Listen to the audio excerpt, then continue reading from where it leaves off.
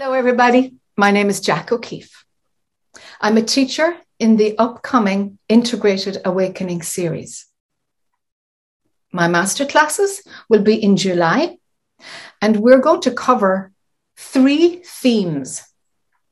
One, we're going to look at spirituality and what biases, understanding, conditions have we understood spirituality to be?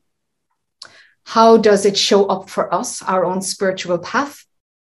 How much of a learned idea of what spirituality is is playing in our system? And what's really happening for us? And so we're going to look at how the culture of spirituality is changing. Because how do we integrate our humanness? What about when we screw up? We make mistakes.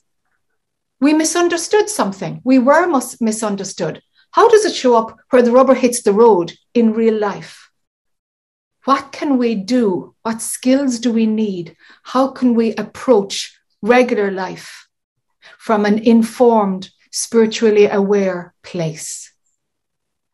And so I'm going to talk a little bit, give some skills a little bit, hear from you, and help guide our way on so that you can understand better what's involved for you, for you to be more autonomous, more skilled in terms of navigating your own way forward deep within to your own beingness.